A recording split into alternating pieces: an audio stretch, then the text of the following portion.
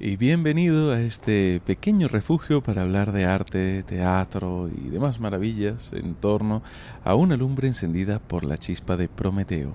Hoy seguimos en compañía de Goethe y estamos en Venecia, a pocos metros de San Giorgio Maggiore. Frente a nosotros tenemos el canal de la Giudecca, al otro lado de este vemos la Torre de San Marcos. Somos Cecilia Escritore y Benevieites y este podcast está producido por nuestra compañía Teatro Strapato. Si te gusta, recuerda suscribirte para no perderte ningún episodio. Con este fondo de agua y los rumores de una Venecia moderna que se mueve con embarcaciones a motor, te damos la bienvenida a esta ciudad mágica que conquistó a Goethe.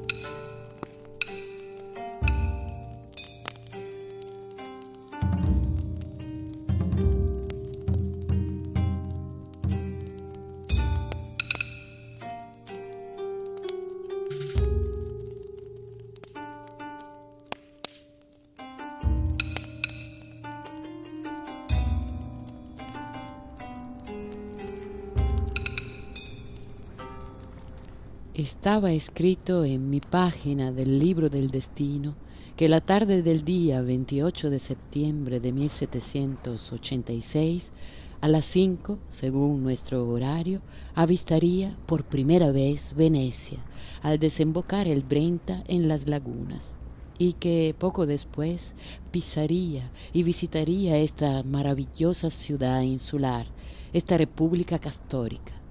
Así que Venecia Gracias a Dios, ya no será para mí una mera palabra, un nombre vacío de contenido. Ya no me atemorizará, como tantas veces lo ha hecho, a mí, mortal enemigo de las palabras bajo cuya cáscara no encuentro nada. Hay ciertos lugares que, por su naturaleza, se convierten en lugares míticos, lugares que evocan una idea en el imaginario de cada uno de nosotros. Venecia es uno de esos lugares, una de estas palabras grávidas de fantasía. Y, como bien dice nuestro poeta, cuando se visita un lugar como Venecia, ese nombre, esa palabra, cobra un significado concreto, con el peso que tienen las cosas que existen, que conocemos, que hemos visto y tocado. Hay una Venecia de fachadas eternas, una Venecia que todos hemos visto en, en, películas y hemos imaginado en libros. Esa Venecia suele ser ese lugar imaginario que se llena y cobra vida cuando se visita esta extraña y, fascinante ciudad. Venecia, como todas las ciudades, ha cambiado enormemente desde que Goethe la visitó. Recién llegados a la estación de tren, tomamos el Vaporetto, la, embarcación que nos lleva hasta la isla de la Giudecca, con la cual bordeamos el barrio de Santa Croce y tomamos el canal de la Giudecca. En esa ruta se respira una Venecia del siglo XXI, una Venecia que trabaja, en la que las ambulancias son embarcaciones, los repartidores llevan sus lanchas llenas de paquetes de grandes multinacionales de venta online, los habitantes de la ciudad esperan su parada con los ojos clavados en las pantallas de sus teléfonos y, pasan con indiferencia ante lugares que el visitante intenta desesperadamente fijar en su memoria. La vida aquí tiene otras reglas. Vivir en un lugar como este lo cambia todo. Venecia no es un lugar cualquiera. Llegamos a la isla de la Yudeca y vamos a dar un paseo. Es un lugar maravilloso, la Yudeca nada tiene que ver con el bullicio turístico de Piazza San Marco. La isla es una silenciosa zona residencial en la que los niños juegan en las calles, los edificios tienen eh, pequeños jardines en los que los vecinos siembran pequeños huertos. En la Yudeca, Venecia es más casa y menos museo. Quienes hayan visitado Venecia y hayan pasado por, por San Marcos y se hayan asomado al canal recordarán las vistas de estas islas. Un par de islas coronadas por tres iglesias. A esa imagen la podríamos llamar la Trinidad Paladiana. En Vicenza hablábamos de cómo nuestro querido arquitecto del siglo XVI, Andrea Palladio, había desarrollado gran parte de su obra realizando edificios domésticos y de uso civil en Vicenza. Pues bien, el Palladio veneciano es sobre todo un Palladio de obras religiosas. Viéndolas desde San Marcos, de izquierda a derecha, tenemos la iglesia de San Giorgio Maggiore, la iglesia de Santa María de la Presentazione, mejor conocida como Le Zitelle, y por último, dulces in fondo, la iglesia del Redentor. Quizá esta última sea la más lograda, el edificio en el que Palladio realmente consiguió unir el ideal romano clásico con las necesidades estilísticas de una iglesia cristiana. Creo una fachada uniforme para un edificio con planta de cruz y aspecto de templo clásico. Subió las columnas en altos pedestales y consiguió mantener las proporciones ideales. En su interior todo es sencillez. Winkelmann se habría conmovido en este templo, un templo que lucha contra lo superfluo y en esa esencialidad reside su grandeza. La historia de esta iglesia es interesante. En, el año 1575, Venecia está asolada por la peste. El Senado toma una decisión política tremendamente estratégica, con una lógica que nos recuerda al pragmatismo de ciertas decisiones tomadas por ciertos gobiernos en estos tiempos de pandemia. El Senado de Venecia hace un voto, un voto al Redentor. Si lo salva de la peste, le construirán una iglesia. Qué manera de tomar las riendas de la situación, ¿no? sea como fuere. Al igual que todas las cosas de la vida, sin importar que sean hermosas o terribles, la peste a un cierto punto terminó. El Senado convocó a Palladio y se ordenó la construcción de este maravilloso edificio. Y es que hasta de las peores desgracias pueden nacer cosas maravillosas. Este episodio lo estamos grabando a pocos pasos de San Giorgio Maggiore, la otra iglesia importante de esta Trinidad Palladiana. Pero en este caso podemos ver cuán difícil era lograr ese equilibrio entre la arquitectura romana y la cristiana. Quizá San Giorgio Maggiore sea importante sobre todo para comprender lo que Palladio verdaderamente logró en el Redentore a poca distancia y ambas visibles desde lejos, desde San Marcos, podemos ver la evolución de un artista. Estos lugares los recorrió sin duda nuestro Goethe, que se quedó en Venecia un buen tiempo y cuyo interés por Palladio se había convertido en amor tras su visita a Vicenza. Para cerrar este círculo palladiano, nos queda un edificio por visitar. Ayer paseamos por el barrio Castello, un barrio residencial lleno de encanto y también lejos de la ruta típica del turista.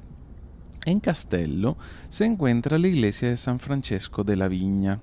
Esta iglesia fue construida por el importante arquitecto del Renacimiento Jacopo Sansovino, un grande cuya obra se ha visto en ocasiones eclipsada por la genialidad de Palladio. De hecho, a la muerte de Sansovino fue Palladio quien lo sustituyó en Venecia. San Francesco de la Viña fue construida por Sansovino pero terminada por Palladio. La fachada es palladiana y aquí podemos ver cuán revolucionario era este artista.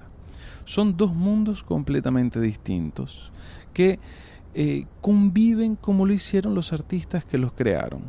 Por un lado tenemos a Sansovino, un interno renacentista perfecto y elegante, con sus espacios bien definidos, cada nave crea un ambiente. Palladio, en el Redentore, derriba los muros, las fronteras entre los espacios, todo está unido, las capillas se comunican entre ellas, todo es un continuo, no hay divisiones, una especie de open space ante litteram. Para comprender a un artista revolucionario hay que verlo entre los suyos, sus contemporáneos. Ver el edificio de Sansovino nos hace comprender mejor la revolución paladiana. Y este juego es fácil porque en San Francesco de la Viña los tenemos a ambos. El interior es de Sansovino, pero la fachada es de Palladio. Estamos ante la fachada más equilibrada del artista, ante una obra maestra, un centro fuerte con dos laterales armónicos, capiteles corintios que dan una pincelada de decoración en la vasta sencillez, las estatuas perfectamente integradas y en lo alto un símbolo, quizás uno de los motivos más hermosos de la iconografía cristiana, un pelícano que nutre con su sangre a sus crías. Esta fachada es una poesía hecha en ladrillo y piedra. Pero Venecia está llena, hay mucho que ver, mucho que hacer, y Goethe se esmeró en sacarle partido a la ciudad. Le sacó el jugo también a su vida teatral.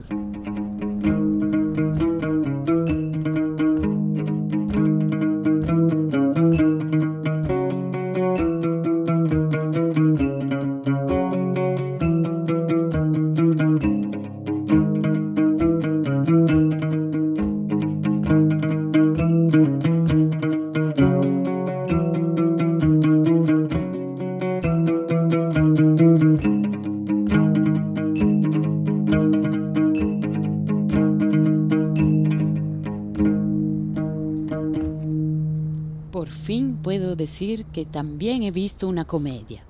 Hoy se ha representado en el Teatro San Lucas Le Baruffe Chiozzotte, lo que podría traducirse aproximadamente por las peleas y los gritos de Chioggia.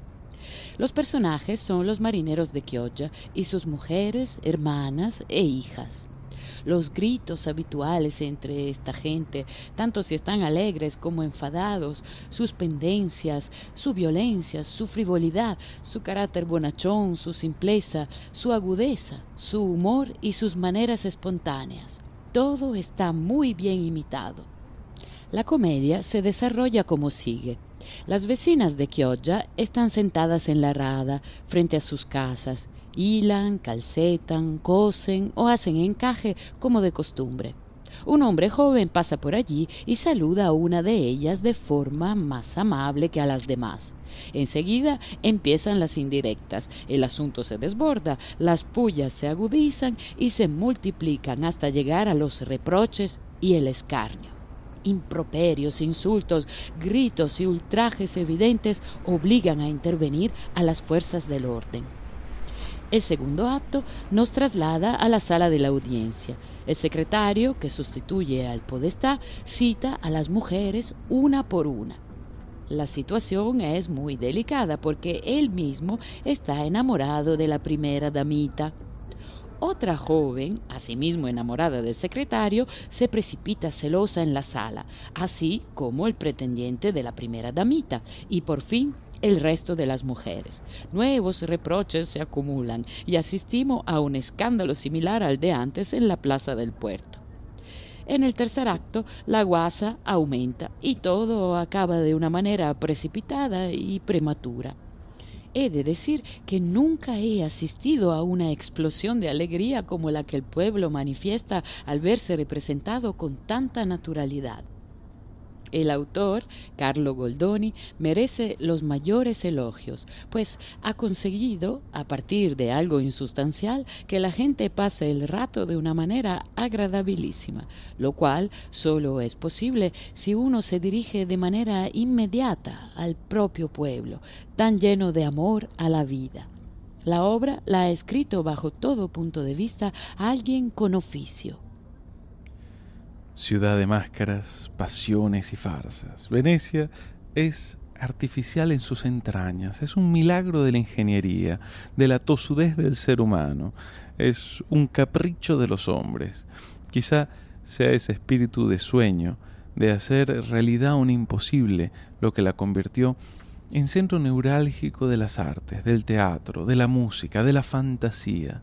Goethe la recorre y queda fascinado por su teatralidad cotidiana. Aquí el teatro sale del escenario y ocupa los mercados, las plazas, los tribunales.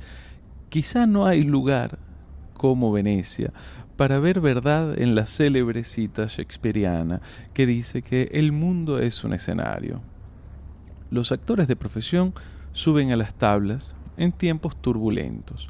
En los años que Goethe visita Venecia, la comedia del arte está agonizando. Goldoni llega pisando fuerte con su reforma, con su espíritu noble y refinado que desea desterrar de las tablas a las animalescas máscaras. Aquellas máscaras que fueron por siglos el rostro de millones de personas humildes. La comedia del arte, que es uno de los temas de investigación de Teatro Strapato, tiene una historia trepidante y maravillosa. Quizás un día dediquemos una, una temporada a hablar de ella, de sus orígenes, de sus mitos, de su muerte. Pero de momento lo que sí haremos será dedicar el próximo episodio de Un Café Strapato a este momento en el que Gozzi y Goldoni son rivales en Venecia, momento en el que la comedia del arte agoniza y nace una nueva forma de pensar el teatro en Italia. Este episodio estará disponible para todos eh, aquellos que nos apoyan en Patreon. Y como siempre, aprovechamos para mandarles un saludo y un agradecimiento de corazón a todos nuestros mecenas que nos apoyan y hacen posible este podcast.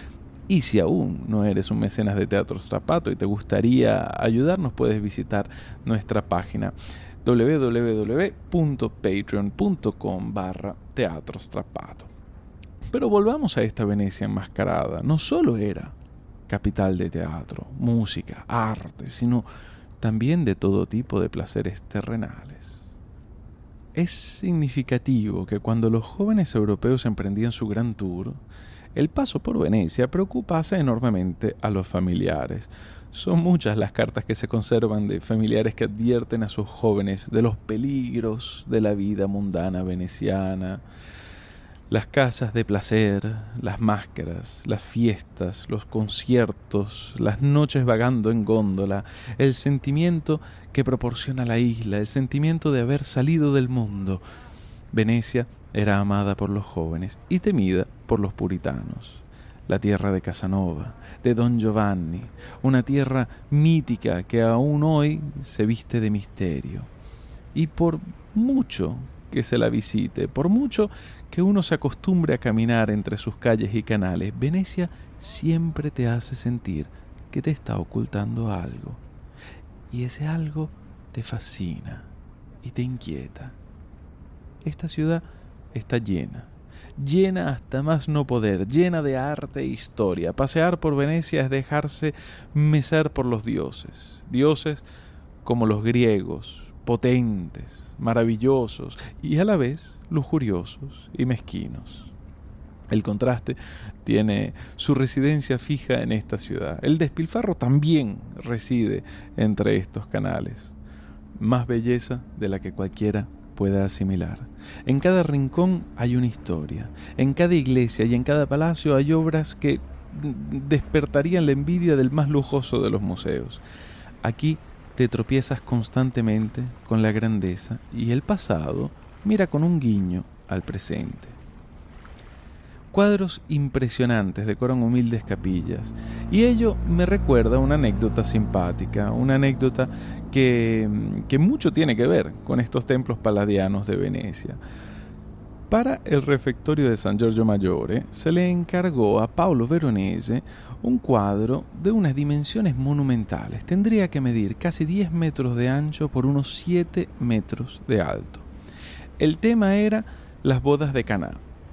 Coronaría el refectorio. La obra se llevó a cabo con una maestría digna del Veronese. Una escena multitudinaria, colorida, con una perspectiva maravillosa, una obra maestra. Cuando el buen Napoleón pasa por Venecia y ve este cuadro, decide que estaría mejor en Francia, solía pensar eso cada vez que encontraba alguna obra deslumbrante. Lo descuelga y el cuadro parte hacia París.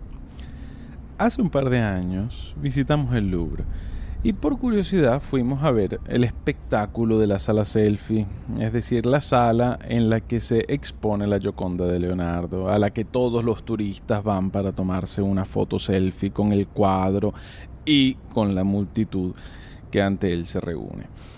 La experiencia valió sin duda la pena. No tanto por la inflacionadísima Gioconda, sino por lo absurdo de la escena. Justo enfrente de la Gioconda, un cuadro de medio metro de ancho por menos de un metro de alto, la dirección del Louvre decidió colocar Las bodas de Caná del Veronese, una obra monumental. Turistas de los cinco continentes le dan cada día la espalda a este gran cuadro para tomarse una foto pixelada con la Gioconda. Evidentemente no es el tamaño del cuadro lo que lo hace grande o pequeño a nivel artístico, pero Las bodas de Caná es un gran cuadro en todos los sentidos y la ironía de la dirección del Louvre es sutil y digna de reconocimiento. Volvamos a, nuestra Venecia, hogar legítimo de aquel hermoso cuadro. Sigamos viéndola con los ojos del gran Goethe. Como decíamos, esta ciudad fue capital de arte, de música, pero no solo de música culta, sino también de música popular, de costumbres curiosas, como los cantos de los gondoleros. Al respecto, Goethe nos cuenta. Había pedido a los gondoleros que esta noche interpretaran para mí su famoso canto, aquel que Tasso y Ariosto cantan con sus propias melodías. A la luz de la luna subí a una góndola, un cantor delante y otro detrás, y entonces empezaron a entonar alternativamente un verso cada uno. La melodía, que conocemos gracias a Rousseau, se sitúa en un término medio entre el estilo coral y el recitativo y conserva siempre la misma marcha sin compás.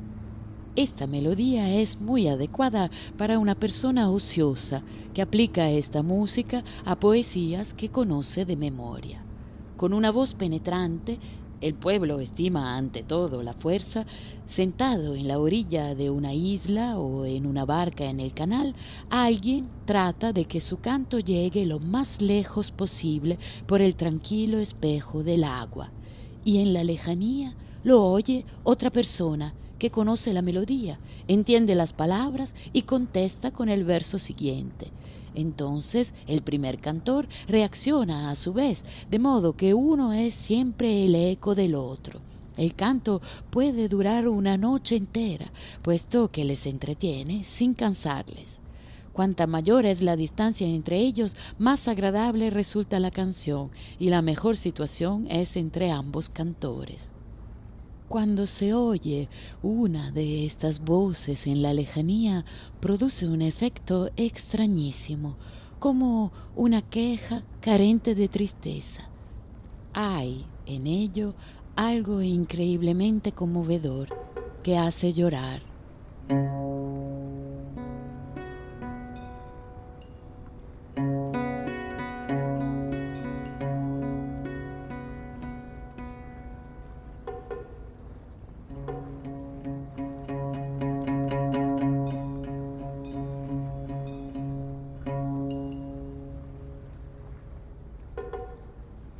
Este canto melancólico, estas melodías que se abandonan a la deriva en el agua de los canales, este mundo de música y agua despertó en nosotros una gran curiosidad e intentando documentarnos sobre estas músicas dimos con Raquel Colombo, una cantante véneta que ha dedicado algunos años a una investigación sobre la música de batello, de embarcación en la Venecia del Settecento. Los cantos que nos narra Goethe eran ya una tradición casi perdida cuando él visita Venecia. Los versos de Torcuato Tasso, el Ludovico Ariosto, no eran en el siglo XVII patrimonio exclusivo de los intelectuales, sino que la gente de a pie los conocía, los memorizaba, los recitaba y los cantaba tal y como nos narra Goethe. Los cantos de Battello que recupera Raquel Colombo son letras populares con una musicalidad muy rica. Se trata de un repertorio de canciones vastísimo. Tuvimos la suerte de poder conocer a Raquel y poder entrevistarla, y la semana que viene publicaremos el tercer episodio bonus de esta temporada, la entrevista con Raquel Colombo. La versión original en italiano la encontrarás en nuestro canal de YouTube y la versión traducida al español en las plataformas de podcast. El paso de Goethe por Venecia está repleto de anécdotas y curiosidades. Un episodio es poco, pero esperamos haber elegido los elementos más interesantes de esta etapa y que hayas disfrutado Venecia tanto como Goethe y como nosotros. Ahora Tomaremos los caminos que nos llevan hacia el sur, abandonaremos el Véneto y vamos a tierras emilianas. Nuestra próxima parada, siguiendo los pasos de Goethe, nos llevará a Ferrara, una ciudad en la que volveremos a encontrar a Torcuato Tasso, un poeta maldito, cuya maldición mucho tiene que ver con Ferrara.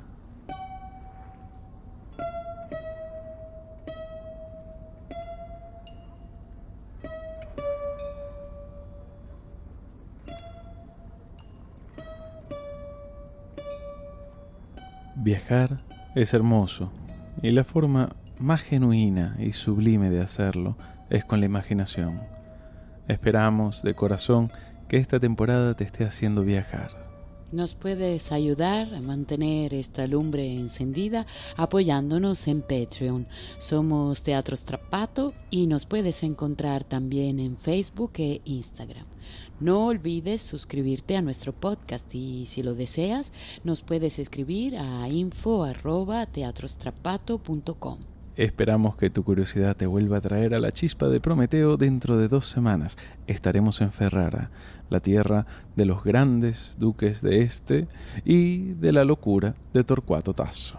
Os deseamos unos días con muchas chispas y fuegos maravillosos.